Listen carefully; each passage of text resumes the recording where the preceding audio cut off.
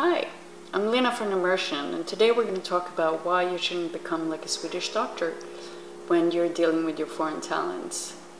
No doubt you have noticed that they have many, many questions. You are an incredibly important person to them because you are their first in house person to talk to when they move to Sweden. If you've gone to the doctor lately in Sweden, you've noticed that the doctor keeps doing this.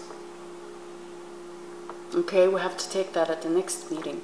Uh, they have 15 minute slots. So rather than actually emptying out a topic and really looking into holistically at a client or a patient, really, um, they just do the very, very basic and then they schedule a new appointment. I would say it's a very inefficient way of doing things, apart from wasting the patient's time.